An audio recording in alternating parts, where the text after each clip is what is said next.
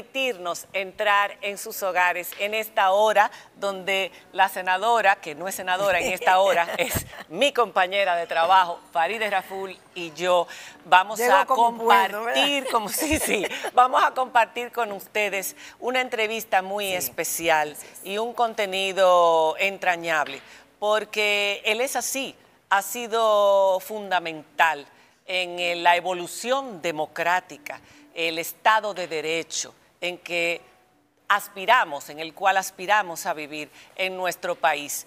Eh, con todos sus aportes a lo largo de toda una trayectoria intachable. Nos referimos, por supuesto, al presidente del Tribunal Constitucional, el más alto tribunal. Y señores, este año, el 28 de diciembre, termina su función de 12 años junto con otros cuatro miembros. Van a ser cinco miembros en la historia de este joven tribunal que van a haber tenido 12 años precisamente porque ya tiene 12 años de fundado. Entonces, ahora son nueve años. Sea, el único amigo entrañable de la señorita aquí, de la señora, sí, Mi profesor querido y además es, uno de, es una de las personas que dio origen en sus debates, en la puesta en, los temas de constitucionalidad a este alto tribunal. Si hay una conciencia constitucional en el mundo jurídico dominicano, se debe al profesor Milton Ray Guevara. Pero nosotros no queremos que usted piense que aquí vamos a dar una cátedra de leyes, vamos a hablar de derechos,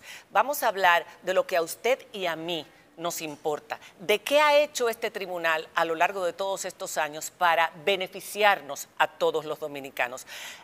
Las sentencias que han sido polémicas, por, supuesto, que básicamente muy pocas, más de 6.000 decisiones ha tomado este tribunal en esos 12 años y una de ellas fue bastante polémica. Vamos a hablar de esa también, pero del ser humano, ¿por qué no? Una persona querida y respetada por gente de todos los partidos. Vamos a conocer un poco de la formación que, ha llevado este samanense orgullo de su tierra. Nosotros el magistrado. Qué honor. Primera vez en esta noche María Cela. Primera vez.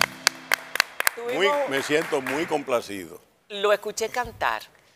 Estuve en un lugar donde pude ver que es una persona realmente alegre, que es una persona que disfruta mucho eh, el contacto con los demás, pero cantar, bailar, y aquí nos decía, pero lo que más, más amo es la docencia. Entre todas las cosas que usted ha hecho, eh, los cargos que, ostentó en la diplomacia, los que ostentó también eh, dentro del Congreso, ahora con este tribunal, pero de todo, de todo, lo que más le gusta es enseñar a los estudiantes. Me ha fascinado siempre. Por supuesto, un saludo para Faride. alumna. alumna. Ella dice profesor. Sí, mi profesor. Todavía me dice profesor donde quiera que me ve, con gran cariño. Eso es un cariño mutuo. Y para ti, María Cela, que eh, me siento tan honrado de estar con dos mujeres que conducen un programa de orientación y también que permite ver las cosas buenas de la vida dos mujeres que dan ejemplo en la televisión dominicana, en este caso en Color Visión, Yo decía, todas las noches. Hace un momentito, antes de que empecemos esta entrevista con otros temas, que usted ha sabido manejarse en todos los ambientes, una persona respetada por todos los partidos políticos, los políticos, sector jurídico, por supuesto, y gran parte de la población que ha logrado conocerlo. Eh, y querida, no solo respetada, sino también querida. Esa personalidad, esa educación, por supuesto, ha tenido contacto con gran parte de los líderes más importantes a lo largo de su trayectoria del mundo, no solamente nuestros, Mitterrand, la reina Isabel, en fin, ha conocido grandes personalidades y todo el mundo lo aprecia por esa educación exquisita y ese trato hacia los demás. ¿Qué significó doña Ángela? Y esa parte personal me interesaría conocer. Siempre que tenemos grandes hombres, queremos saber dónde es que se forja ese gran hombre de tres mujeres. Tuve tres madres y ese es un privilegio infinito. Eh, se lo agradezco profundamente a Dios. Ángela, Elisa y Ferolina. Y entonces eh, Ángela, que era mi abuela, pero que me crió desde los cinco meses, eh, con el permiso de mi mamá y de mi papá, fue la fundadora del Liceo Secundario en Samaná, la primera maestra normal de segunda enseñanza que se formó en La Vega y que llegó a Samaná. Y en consecuencia decía doña Zoraida Heredia Viuda Zuncar que Ángela era una de las maestras del siglo XX en la República Dominicana y que parecía tener el influjo de la Montessori en sus enseñanzas. Y claro, eso demuestra la grandeza de la mujer dominicana. Un hombre que se forja esencialmente con tres madres tiene que salir bien orientado. Y yo creo que a eso se debe. Bueno, yo he disfrutado de, mucha generosidad. De mucha generosidad. Yo creo que eh, Dios me ha premiado con una serie de bendiciones extraordinarias y lo que he hecho simplemente cumplir con mi deber, lo que yo he podido hacer. Eh, pero esa formación de infancia eh, fuerte, de, estricta. De, estricta, de amor y del trabajo al estudio, mamá tenía unos grandes libreros en la casa y como ella se iba para el liceo, yo pequeño, muy enfermo, asmático, me pasaba el tiempo acostado con papel de trace, aceite de ricino, diciendo, mamá, me muero, y dejaba de ir a la escuela, tuve que hacer dos años, en un año dos cursos, eh, segundo y tercero, para pasar al cuarto de la primaria, yo me dedicaba a leerme los libros, muy pequeños, libros que eran eh, yo creo que tenían un contenido más allá de mis capacidades. Densos totalmente. Muy densos, por ejemplo. Eh, para un joven ya de 10, 9 años, 10 años, leerse el libro La Madre de Máximo Gorky, donde se oh, expresa lo social, la lucha contra el zarismo en Rusia, eso era una cosa extraordinaria. O leerse Fabiola o las reinas de la catacumba, que era eh, la expresión de la persecución de los cristianos en Roma. También eso iba más allá de las posibilidades de un niño que después guardaba los libros antes de que mamá llegara porque yo no sabía si me podía, si yo podía leer esos libros para mí. tu propio, o sea, no fue que eh, ven, mi hijo, ponte a leer, que la lectura es muy buena, porque muchas madres se sienten frustradas porque han tratado, o padres, de que sus hijos lean. Eh, insistiendo en esto y sin embargo ve otros que sin que nadie los lleve de la mano se adentran en el mundo de las letras. Así es, María Cela. Sin embargo, yo tuve un año malo en la escuela primaria, el séptimo, el séptimo curso. Mi profesora era Melba Anderson, una tremenda profesora. Lo mejor que yo tuve fueron mis profesores en Samaná. Era una cosa extraordinaria la formación que nos dieron. Como era antes. Y entonces, como era antes. Entonces, como mamá había sido directora del liceo, todo, la más gran mayoría de esos profesores habían sido alumnos de mamá.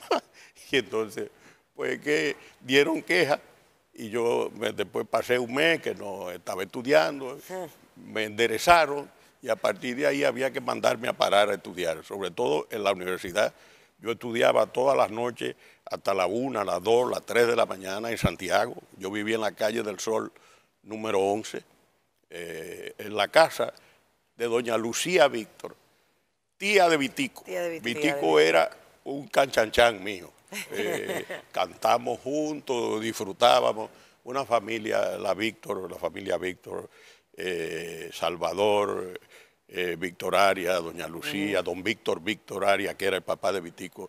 Y, yo, bueno, lo que pasaba era que si habían libros de derecho civil de Masó, yo veía el programa, y todas las noches me leía tres o cuatro capítulos. Cuando iban a explicar eso ya yo me lo sabía. ¿Por qué el derecho?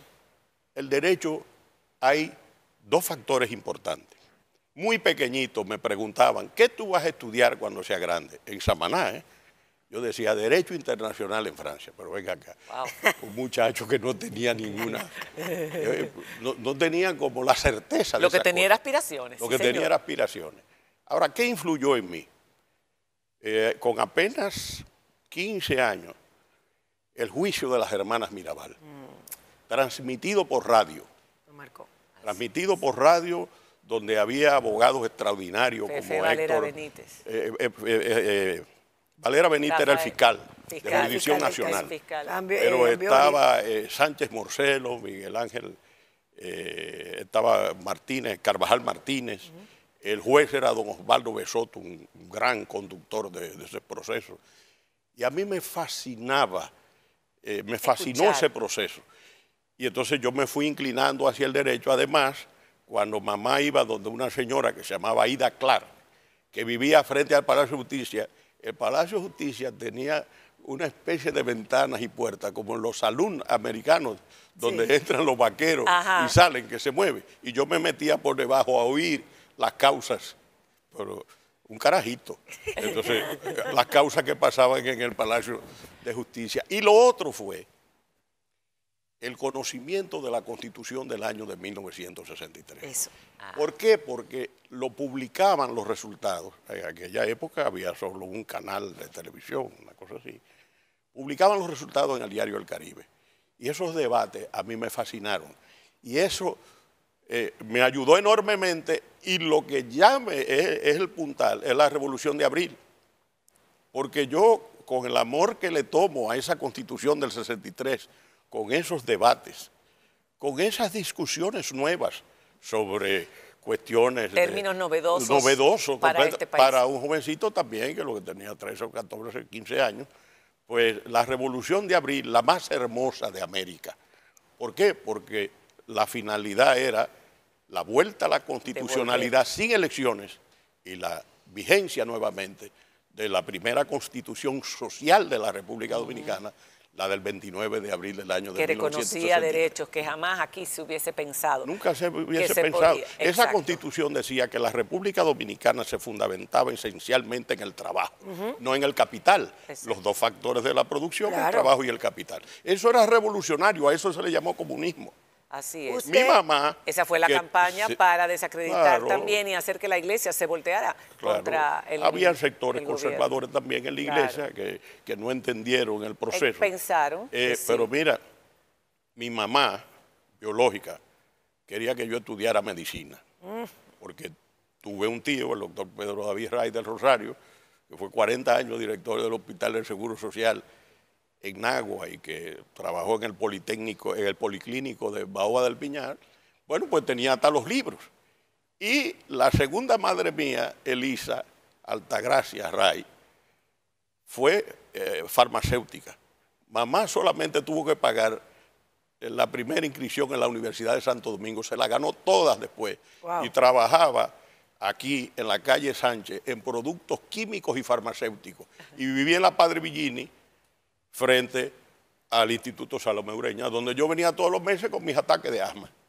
Y todavía tiene asma. Todavía, tengo asma. Pero usted desde muy temprano eh, lo marcó lo de la Mirabal, lo marcó la gesta de abril del 65.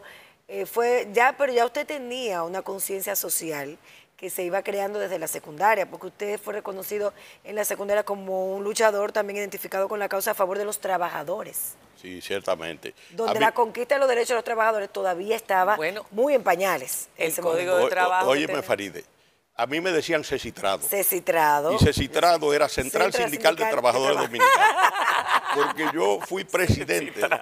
El primer año, el presidente de la ANES, que era la Asociación Nacional de Estudiantes Secundarios de Samaná, fue un querido, que es un querido amigo, está vivo, Efraín Valdrich González. Entonces, él renunció en el primer año eh, en un discurso que pronunció en una yola, porque el liceo nuestro estaba frente al mar, en las alturas del edificio del viejo Partido Dominicano, y el recreo nosotros lo pasábamos debajo del Matecoco y al lado del mar. Él renunció. Entonces a mí me nombraron presidente, y yo fui presidente en el segundo, en el tercero y en el cuarto. Y movilizaba a los estudiantes, y entonces pronunciaba discursos que es, yo, yo me pongo a pensar eso, yo digo, yo digo que Dios me bendijo, porque el discurso principal de la celebración del 14 de junio del año de 1963, en un meeting que se realizó en el Parque de Samaná, en una tribuna de madera que era de la época de Trujillo, lo pronuncié yo y lo que tenía era 15 años, y los grandes me dijeron, tú eres que tiene que hablar. Eso, eso ahora yo no lo concibo. Eso era una época de ilusiones, de confusiones, eh, de esperanzas tremendas. Y por eso es que me ponen cecitrado. Ya en el 65 me iban a deportar para Martinica. ¿Cómo? Sí. Y, yo, y, quién me protege a mí? El padre Enrique Podvin, canadiense, quebecois, misionero del Sagrado Corazón de Jesús. Wow, eh, y eh, ya nos dirá, porque vamos a hacer una pausa, pero le voy a dejar un tema que yo sé que usted es apasionado con el mismo. Es, por supuesto, el tema de la nacionalidad de los dominicanos y de los haitianos. Y es un tema que a todos los dominicanos nos interesa. Vamos a hablar de esto porque esa sentencia de la 168 creó un movimiento de fuera y de dentro del país y fue muy criticada por ciertos grupos. Eh, y además, recientemente hemos tenido también ataques eh, de racismo en República Dominicana, poniéndonos una alerta como país racista, eh, cosa que nos ha sorprendido. Pero estamos viendo que hay una situación desde fuera con mucha presión ante lo que ha hecho el presidente dominicano desde que tomó el mandato que ha sido asumir esa postura. Yo quisiera que usted nos hablara de todo eso cuando regresemos y si ustedes tienen alguna pregunta interesante que hacerle al magistrado, ¿por qué no? Sasha nos la comparte a través del Twitter. Ya volvemos de la pausa.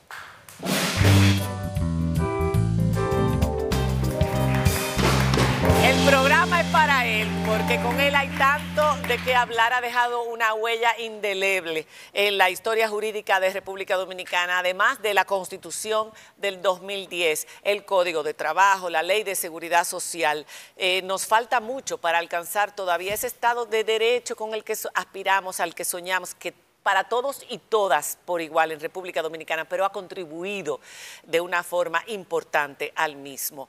Le hacía la pregunta don Milton en el segmento anterior. El tema haitiano es un tema delicado. Con la sentencia 168, hace ya muchos años, nueve años, diez años, ¿cuánto hace de esa sentencia? Fue el 2013. 2013, 10 años. 10 años. 10 años. Se generó un movimiento de fuera de República Dominicana y dentro de República Dominicana en contra de la misma. Eh, se dijo que era discriminatoria, que incluso era, nos hicieron, nos acusaron de dejar a mucha gente sin nacionalidad producto de esa sentencia. Y a mí me gustaría, ese momento tuvo que haber sido difícil para ustedes porque fue un movimiento importante en los medios de comunicación y por supuesto de organizaciones internacionales. Eh, ¿Por qué no es así?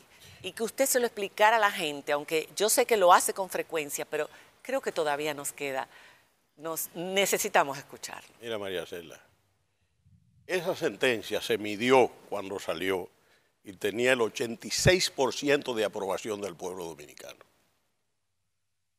Es la sentencia más comentada y menos leída en la historia dominicana.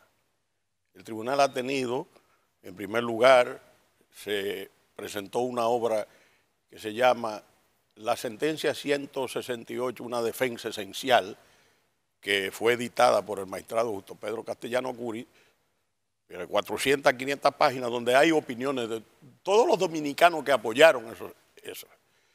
Entonces, eso es lo primero. Ahora, lo que pasa es que ese pueblo no se pronunciaba, porque lo que se pronunciaban eran los que tenían otros intereses, porque inventaron la tesis de que nosotros habíamos desnacionalizado. Y eso supone una ignorancia supina de los fundamentos del derecho internacional privado. Y yo te voy a tratar, y, a Faride, que es jurista, muy destacada, voy a tratar de explicar la cosa. Lo primero es que ese caso no lo inventó el Tribunal Constitucional. Ese caso se presenta en el juzgado de primera instancia de Monte Plata en el año 2013 eh, y eso más o menos en el mes de julio, el 30 de julio, y llega al Tribunal Constitucional en el mes de septiembre. Entonces, el tribunal empieza a trabajarlo como trabaja todos los casos. Nosotros tenemos el, sistema institucional mejor de Tribunal Constitucional en toda la región, porque los casos eh, eh, siguen un orden que se establece en el CIGE, que es el Sistema Integral de Gestión de Expedientes. Nadie puede cambiar un expediente, ni puede ponerlo antes, ni puede ponerlo después. Eso fue una donación de un software millonario que nos hizo el Tribunal Constitucional del Perú por las relaciones de amistad que yo desarrollé con el presidente del tribunal de entonces, don Óscar Urbiola. Entonces, bueno, el tribunal estudia el caso, cómo se hace, y por una decisión de 11 de 13, ¿verdad? Decide lo siguiente, que es darle protección a la recurrente. ¿Por qué?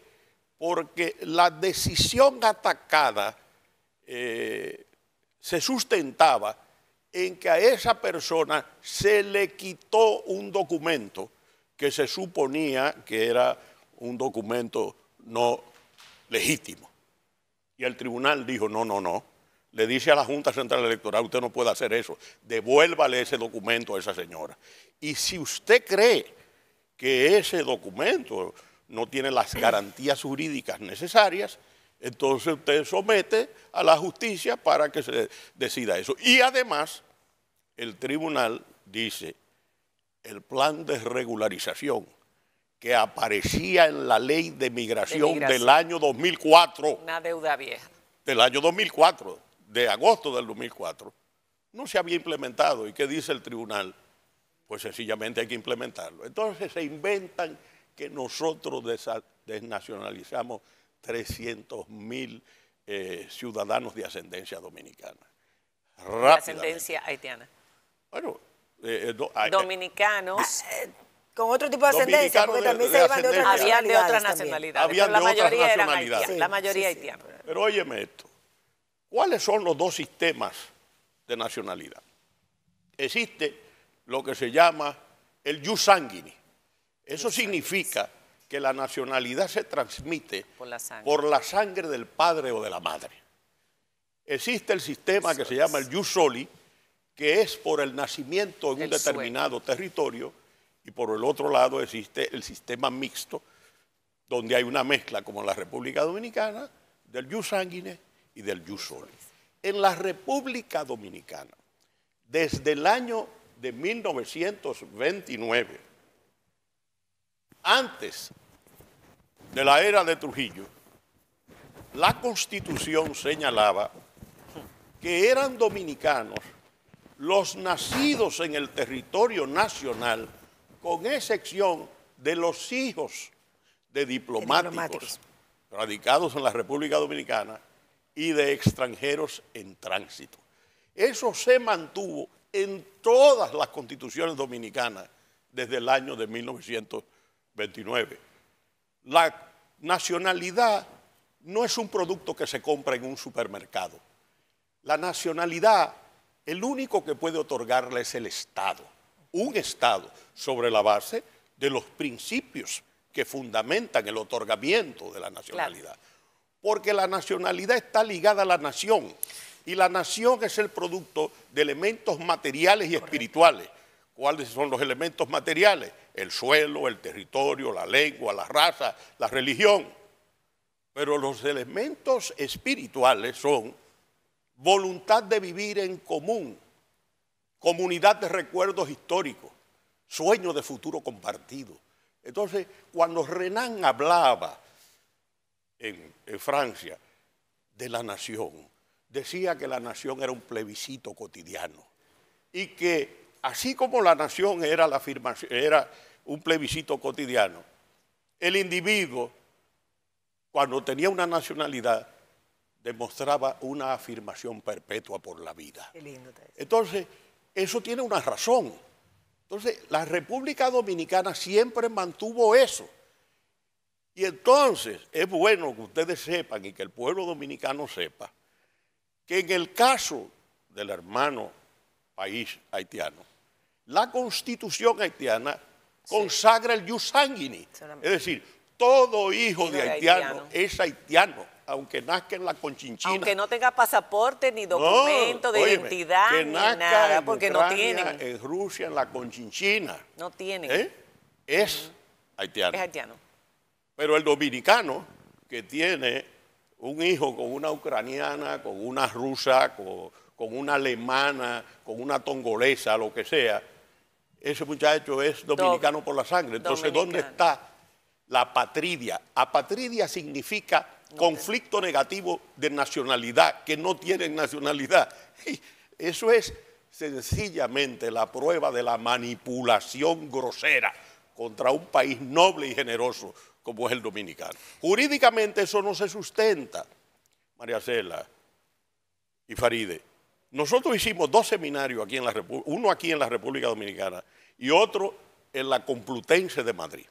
Y posteriormente en la Universidad Complutense de Madrid me condecoró con ser miembro honorario del de, eh, Comité de Derechos Humanos de la Complutense. ¿Por qué? Porque en, esas dos, en esos dos coloquios que se hicieron, uno en Santo Domingo y el de la Complutense, donde estaban los mejores profesores de Derecho Internacional Privado, quedaba claro que aquí no había patridia, no la ha habido. Puede haber el caso de una persona, un niño abandonado, que no tiene padre, se, murieron los padres.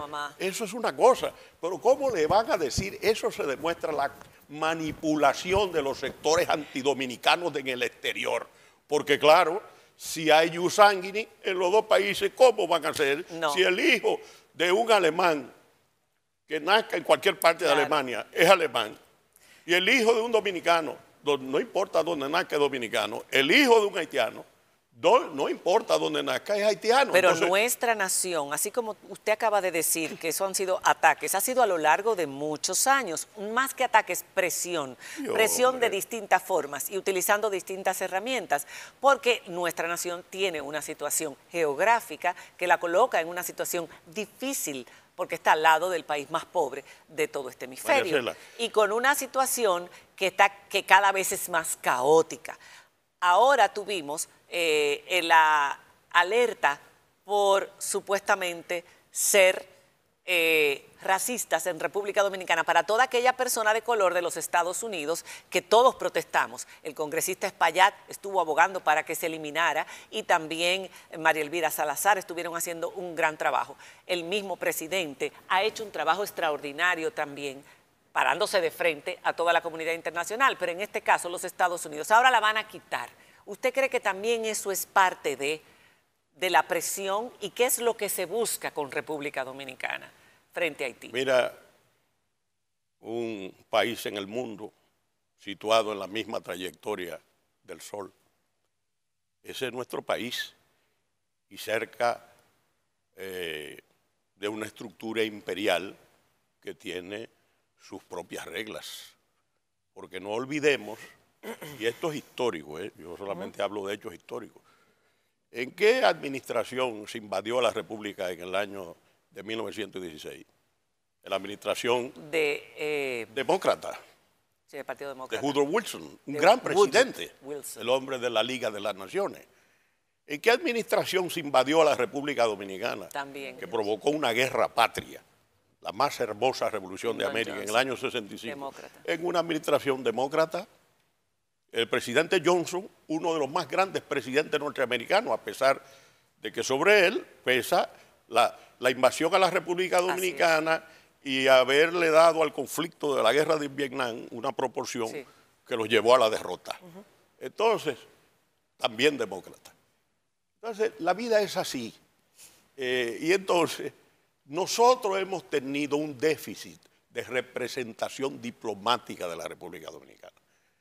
En un momento determinado, cuando esa sentencia salió, a los diplomáticos dominicanos se les decía que cuando ese tema se plantease en los organismos internacionales, abandonasen el lugar. ¡Wow! Pero eso es una, eso, eso es una Qué barbaridad. que Dios no la, no, la puede bendecir. Y se iban. Y se iban. Ahora no.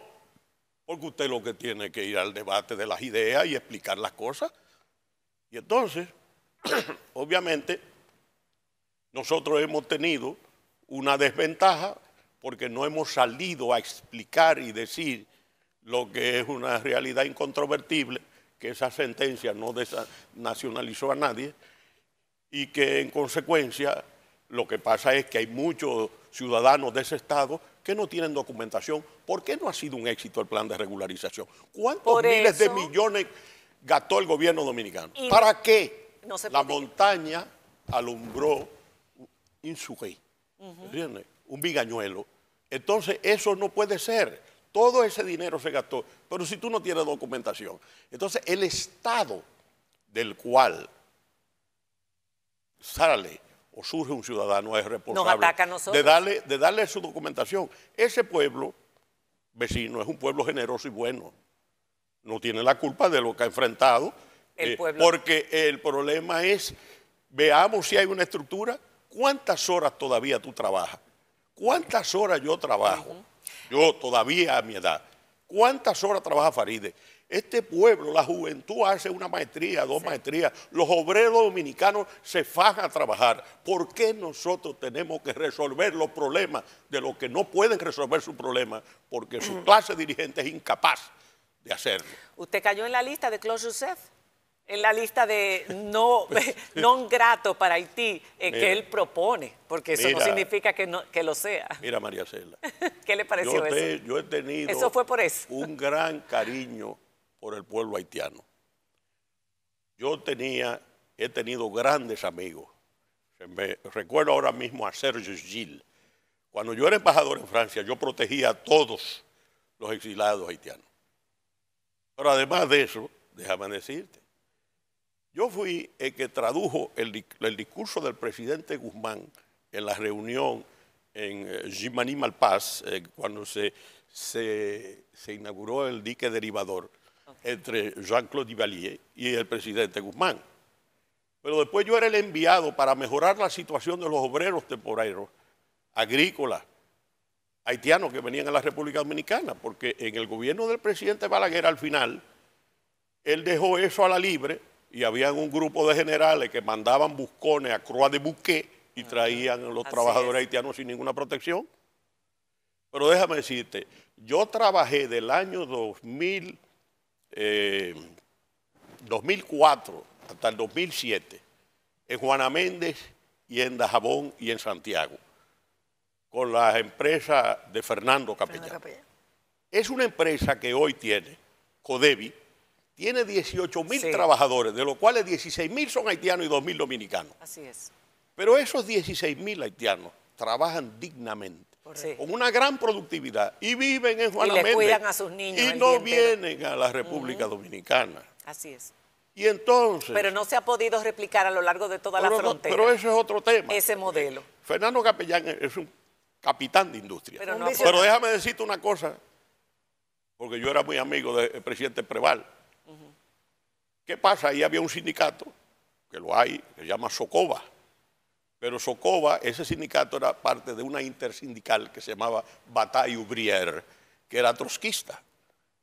Entonces, la empresa perdió de cuatro mil y pico de trabajadores, bajó a dos, porque se fue Sara Lee, bueno, una serie de cuestiones. Yo logré el primer convenio colectivo de condiciones de trabajo y después se renovó. Yo dormía en Dajabón, yo viajaba a Santiago todos los días. Yo vivía en los cerros de Gurabo, en una casa que le puse el convento, porque había dos técnicos norteamericanos y yo, y ni siquiera mi cuñada de la época podía entrar. Y eso por amor, por amor a una obra como la de Fernando Capellán, que es la que nosotros debemos desarrollar. Pero óyeme, los dominicanos no podemos resolver eso. Y debo decir lo siguiente, para mí, mi humilde criterio personal, no tiene que ser compartido. Pero ningún presidente de la República ha afrontado ese problema con la dignidad y la fortaleza espiritual de Luis Abinader. Y este pueblo algún día, ahora o después, tendrá que reconocerlo, porque la batalla que libra, usted no ven todas las maldades que se le hace a este pueblo. Pero este pueblo se merece toda esa cosa. Es terrible. ¿Y cómo nos perjudican a nosotros Pero yo te digo, eh, eh, acusar a eh, este pueblo de racista, pero explícame eso. Hace que mucha gente deje de venir. eso es posible? Cuando vivimos de turismo. Aquí el marido más amoroso que puede ser rubio le dice a la mujer, mi, negra adorada, y la mujer le dice, mi negrito adorado a un, rubio con los ojos azules. Acaba el Eso es una ofensa a este pueblo. Se nos acaba el tiempo. Faride quería tocar un tema que era muy importante, si lo podemos hacer rapidito, pero eh, por supuesto es lo que ha significado estos 12 años de trabajo, esta fundación de este Tribunal Constitucional y que ya usted está a punto de dejar en este año, pero lo que se ha logrado para los dominicanos, las sentencias que no es solamente la 168, que son tantas, que han marcado un antes y un después para muchas situaciones de estado, del Estado de Derecho. Eh, eh, ¿Usted cree que nosotros podemos decir que hoy día vivimos en un Estado de Derecho? Hemos avanzado para todos enormemente. Y todas Hemos avanzado de la enormemente. misma manera. Y déjame decirte una cosa, sin justicia constitucional no hay democracia. ¿Por Y qué? y ¿Por qué? ¿Por bueno, qué? porque la justicia constitucional lo que busca es garantizar la supremacía de la Constitución, la defensa del orden constitucional y la protección de los derechos fundamentales. Ese trípode le da a la característica nueva que tiene el Estado dominicano en virtud del artículo 7 de la Constitución que proclama el Estado social y democrático de derecho. El Estado democrático de derecho es el Estado de la libertad, de los derechos civiles y políticos. El Estado social es el de la solidaridad, de la justicia social, del progreso, Exacto. de los derechos económicos, sociales, culturales, medioambientales, deportivos, difusos. Y esa es una realidad. Esa es la constitución más avanzada de Iberoamérica. No lo digo yo, lo dicen los grandes maestros españoles. Entonces, a nosotros nos falta todavía un camino por recorrer. Aquí no quieren enseñar en la escuela, La en la escuela pública, en el, en en bachillerato y en la primaria. No la- quieren enseñar la constitución como asignatura. Hemos ido dejando atrás eso. Pero ven acá. Magistrado, pero la constitución Y no es está una- hecha para niños también. nosotros. El tribunal ha trabajado mucho, nosotros pero hemos una- hecho de todo. Sí. Mira, Sí. mira, este de bolsillo. Yo tengo ¿Tú una crees de que aquí el Estado dominicano no debe mandar a hacer 10 Claro. millones de constituciones de esas? Así es. Pero nosotros tenemos la constitución infantil, que la autora de la constitución infantil Sí. es la, la profesora es. Dulce Eso- Vargas de Castellano, Una que fue que la hizo. Es una tarea pendiente Pero que ¿por, tiene. qué, por qué tienen tantas el Ministerio reticencias? de Educación. ¿Tú sabes por qué? Puede más para arriba. Porque Pedro Enrique Ureña decía que solo la cultura salva al pueblo. Y yo he dicho que solo la constitución libera al ciudadano. No quieren ciudadanos liberados, que pueden reclamar su derecho Y que son ejercer sus deberes. Ciudadanos críticos. Entonces, eh, nosotros tenemos mucho que hacer en ese campo. Y el Tribunal Constitucional ha sido un faro que ya se considera, a mí me dijo el, el hasta hace poco presidente del Tribunal Constitucional Español, hace como tres meses, Pedro González Trevijano, un gran maestro, que me dijo delante de los jueces que quisieron reunirse conmigo, como siempre, me recibían todos los jueces del Tribunal Constitucional Español, que ellos querían ser un tribunal ciudadano como el Tribunal Dominicano, Un tribunal ciudadano. porque nosotros le hemos abierto de par en par las puertas del ciudadano a ese Y eso en 12 años. Ojalá que continúe así este tribunal No, hay, con hay que esta hacer un esfuerzo, categoría. mira, hay que hacer un esfuerzo porque eso no se pierda. eh, que no se pierda lo que se ha Y cuando alcanzado. vayan a elegir en el momento, en diciembre de este año, los cinco nuevos jueces, tienen que hacerlo sobre, la, ca- sobre el criterio de la calidad, de la probidad, del compromiso. ¿Qué con hará Milton. Rey Vamos a Guevara estar- a partir de diciembre? Eso preguntaba Lo que- nuestra, nuestro público. ¿Qué hará? Lo quieren de canciller. Wendy? Hanna. Wendy Hanna. ¿Qué hará Milton No, no, Rey no. Guevara? No, no, no, no, yo voy a la Aparte vida. de seguir cantando, bailando, porque baila muy Pero bien. tiene mucho que hacer todavía. ¿Qué va a hacer? ¿Qué, qué quiere hacer Pero cuando yo soy un hombre joven, donde quiera que yo llego me dicen, pero usted tiene 60 años, tenemos muchos años viéndolo y tengo las energías. Entonces, ¿qué voy a hacer? Dedicarme a la vida privada, seguir en la docencia universitaria, escribir mi memoria que ya empecé. y si, lo, recolectar. y si lo nombran en una posición así no como acepto, por ejemplo no acepto posición pública. Uno tiene que saber retirarse. Yo necesito disfrutar. Vivir. Disfrutar de la vida, cantar. Bailar. cantando y bailando. Bailar. Para la playa. El hombre que mejor baila gracias por haber estado con nosotros.